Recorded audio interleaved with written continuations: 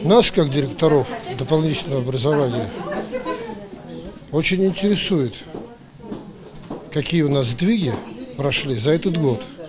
Он все-таки был ознаменован столетием системы доп. образования, которую мы праздновали в октябре месяце.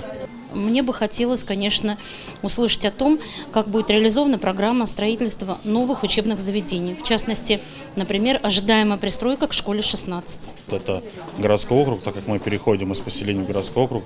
Возможно, хочется услышать именно, как будет перестроение происходить, как будет дальнейшая работа складываться. Мы все ожидаем услышать слова благодарности, услышать то, что мы находимся на передовых рубежах, что мы в рейтингах занимаем лучшие первые места. Все хотят, конечно, повышения заработной платы. Ждем а, некого сравнительного анализа.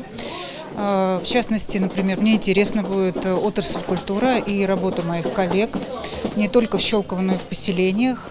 Также, конечно, мы хотим, чтобы нас похвалили. Школы и детские сады, больницы и поликлиники, стадионы и спорткомплексы, музеи и библиотеки, парки и туристические объекты, дома культуры и творческие объединения, молодежные организации и летние оздоровительные лагеря. Все это социальная сфера. Сегодня в этом зале подводятся итоги ее развития за 2018 год. Вы каждый день работаете с людьми глаза в глаза. Именно от того, как вы работаете, зависит во многом и социальная обстановка в обществе. Поэтому я хочу вас поблагодарить, сказать, что мы также, я думаю, будем занимать передовые позиции по многим вопросам, как и сейчас занимаем в Московской области.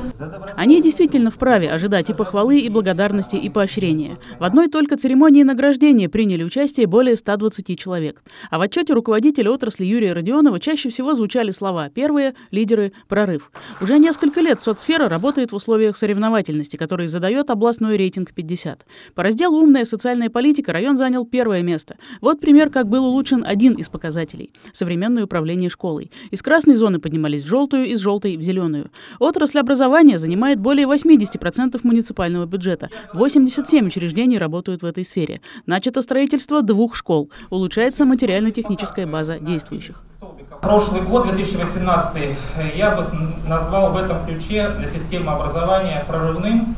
Мы потратили на э, ремонты 238 миллионов рублей живыми деньгами.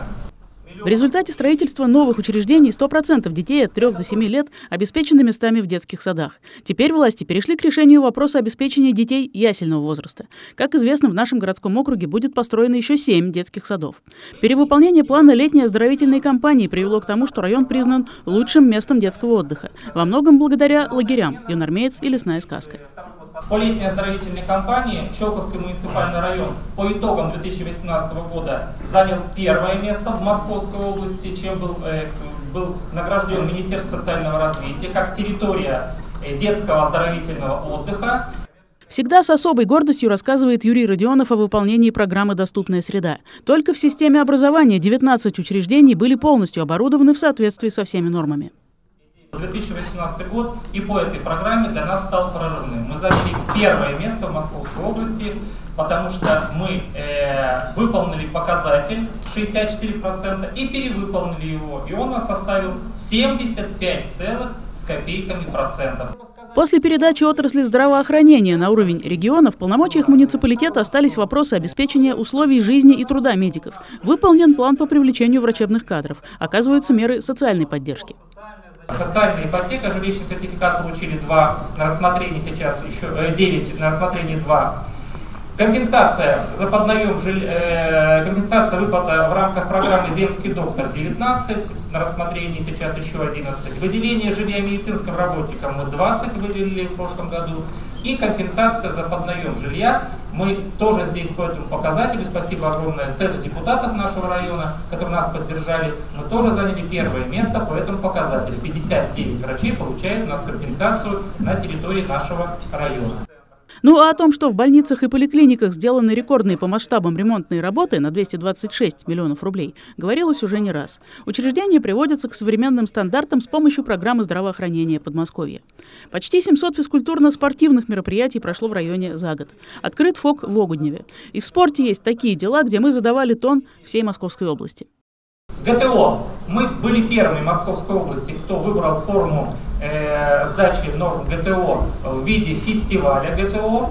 да, вы в нем все принимали участие. Мы эту традицию будем продолжать. Вы знаете, что в прошлом году за эту форму мы получили первое место в Российской Федерации. Душоновские маневры в городе, фестиваль оркестров, всероссийский конкурс «Золотая тыква», шествие Дедов Морозов, наконец, Щелковская елка в Кремле на Соборной площади. Это уже события в культурной жизни. Но культура – это не только развлечение. В минувшем году открыты семь бюстов на аллее героев в Чкаловском. Утверждена концепция развития городского парка. Знаковое событие усадьба Гребнева обрела собственника, и он за семь лет обещает восстановить памятник архитектуры. На сегодняшний день идут проектные работы, очень непростая там работа, очень непростая, очень колоссальные деньги, вот, но э, он энтузиаст, он творческий человек, и я все-таки надеюсь, что э, усадьба будет восстановлена. В молодежной политике Юрий Родионов отметил, что мы в лидерах по организации масштабных форумов, по летнему трудоустройству подростков, что наш молодежный медиацентр входит в топ-5 в области. А еще у нас наиболее активно прошли выборы в молодежный парламент 29 ноября. Все по-взрослому. Большинство молодежных мероприятий в течение всего года было посвящено одной большой дате – столетию комсомола. Слет активной молодежи, лагерь молодежного актива, летняя спартакиада и другие. 263 мероприятия, это не блеф. И здесь, конечно, огромное спасибо системе образования, которая вместе с молодежкой, да, и это не мои отзывы, это ветераны комсомола оценили. Что касается планов на год наступивший в социальной сфере, то некоторые днем ранее озвучил в своем ежегодном отчете губернатор Андрей Воробьев. В частности, это начало в этом году строительства еще трех школ, премирование учителей, подготовивших победителей всероссийских олимпиад, внедрение проектов «Добрая поликлиника» и «Скорая помощь онлайн». Муниципальные власти надеются включить в госпрограмму строительство еще трех физкультурно-оздоровительных комплексов, продолжить ремонтировать учреждения соцсферы. А также в планах подготовка к празднованию 90-летия Московской области и нашего Щелковского района. И, конечно, всем направлениям социальной сферы держать взятую планку. Мы, конечно, все следили в течение года по соцсетям, а тут как бы подытожили, вспомнили очень приятные моменты э, и также как-то какая-то гордость берет за наш район, потому что э, все на высоте. Мы, как работники образования, будем поддерживать Юрия Николаевича и политику нашего а, губернатора Московской области на улучшение качества жизни. Год волонтера был 18-й, то есть и сейчас в 2019 году задача также стоит продолжать развивать волонтерскую деятельность. Вот как бы нам это направление для молодежи очень интересно, поэтому как бы вот здесь я такой для себя акцент сделала. Я ежегодно прихожу на этот доклад как на праздник, потому что э, работает такая команда единомышленников – ведь в одиночку такого результата не достичь. Очень счастлива я работать в этой команде. Очень интересный доклад, узнали много и про культуру, и про образование, потому что в основном мы знаем про здравоохранение, больше вопросов. Очень благодарны за то, что нас поздравили, за наши, оценили наши заслуги, успехи. Я смотрю, по всем показателям мы в лидерах. Э, это очень хорошо, это очень тяжело, и это очень почетно. Ярким пятном были задачи, которые поставлены на 2019 год. То есть нам предстоит очень серьезная работа. Мы готовы к ней. Ирина Микеда, Анна Балиет, Сергей Максимов, Александр Аржевский, телерадиокомпания «Щелково».